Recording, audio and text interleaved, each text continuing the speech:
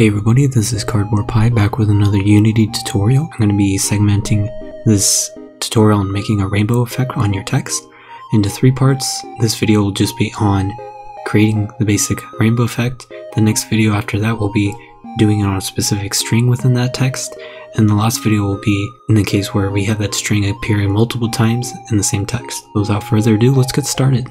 Alright, so we have an empty scene here. I'm just going to add UI go to Text Mesh Pro. If you don't have it installed, all you need to do is go to Window, Package Manager, and just download Text Mesh Pro. Once you got that settled, you'll need to do UI Text Mesh Pro. Now, if it's the first time you use Text Mesh Pro in that specific project, there'll be a whole prompt for you to download it. There'll be two things to download. Download both of those. I believe the first one's the only one that's necessary, but the second one's going to be the key to understanding how we're going to be doing our rainbow text effect. I'm going to add a component here. I'm going to add vertex color cycler. So this is what comes in that second part with the examples and extras. So if we go and right click on this text, this is essentially what we're going to be copying off of. So just to show what it does, it's going to change from skybox. I'm clicking on my camera here, going to solid color. I'm just going to make this black. That way it's easier to see. And I'll adjust the text real quick. I can just fill the entire screen. I'm going to center it. I'm just going to make the text really big.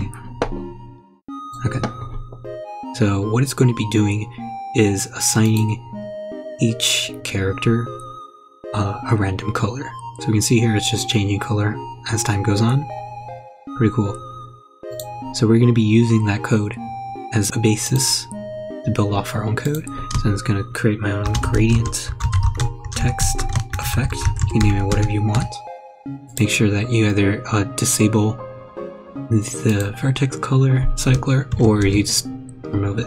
I'm going to copy this code and I'll explain what part of the code we're going to be using and what each part does. Open our gradient text effect and we're just going to copy and paste it in here. See if there's any errors. So we do copy an extra bracket here. So we have an issue with our TM text. So it's a simple fix. We just do using TM Pro. If I can spell, there we go. We're not going to need collections generic. We will be using system.collections because we want to utilize this uh, IEnumerator for the an animate vertex colors. So to understand what this code is doing, essentially we're getting the Text Mesh Pro text info component, and this is going to be important to get specific value or information from each character in our Text Mesh Pro. So all it's doing is it's checking if we have no characters, just don't do anything, and then it grabs some information about the materials and the colors for each vertex. I'll put on screen what I'm talking about, but each Text Mesh Pro character is essentially a box or a square, and it has four components, and the vertexes accordingly. And so all this is doing is applying a color, C0, it's just a random color with a random RGB 255 for alpha. That's just giving us a random color there and assigning that random color to each of the vertexes. So what we want to do instead is create a gradient. So I'm going to go up here and add a gradient. So I'm just going to do serialized field. You can do a public if you want. You do gradient, gradient, text. And we're also going to add a serialized field float. And this is going to be gradient speed. And we're going to put this to something like 0.1 for right now. Okay, so we're going to go onto our gradient here, and it's going to bring us to the gradienter. Now I'm just going to add a rainbow effect. So a rainbow, I usually follow Roy G. Biv, so red, orange, yellow. You can make this gradient whatever you want. I'm just doing more of a rainbow effect, so then it's green,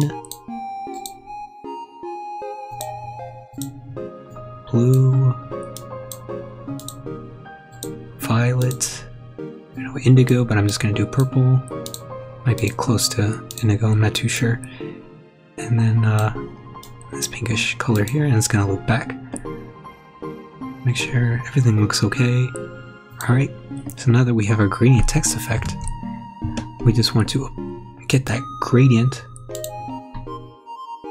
So I'm going to add a private int value or float value. It's going to be called total time. And all we need to do is change C0, so C0, I'm just going to comment code above and say gradient text, because that's where we're getting our gradient from. To get the color, we just say evaluate.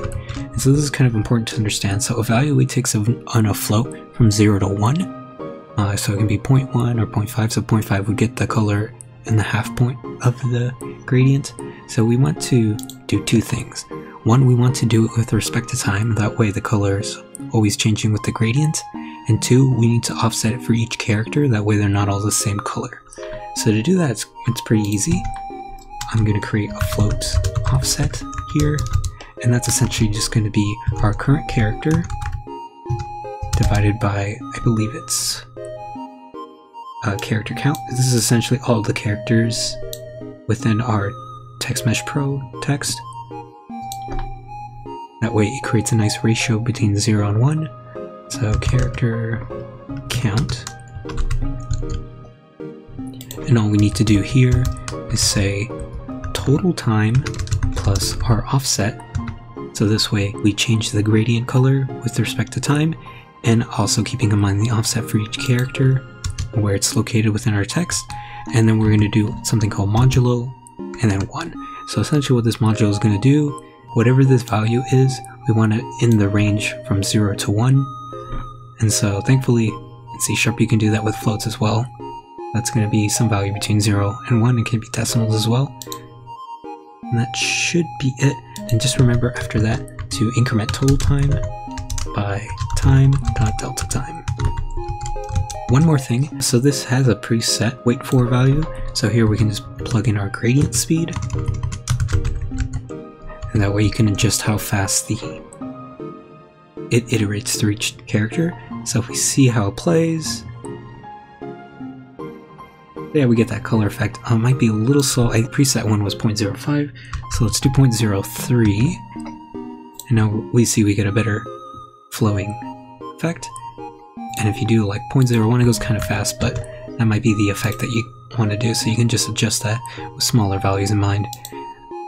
So that's pretty much it for that. Uh, I'll talk about something really quick, but I, I won't go into it too deep. You can do something, since we're doing vertexes here, I'll have on screen what I'm talking about, we could have a C1 here where it's another color, and since we're coloring the vertexes, we can color the uh, left sided vertexes one color and then we can color the right sided vertexes another color and that way we can see within the character itself there's a blend between the two colors and then we could use that C1 on the next iteration. We can set that to C0 and then update only C1 that way we have blend per character itself we can have it blend uh, each character into the next because right now we're just doing it like this.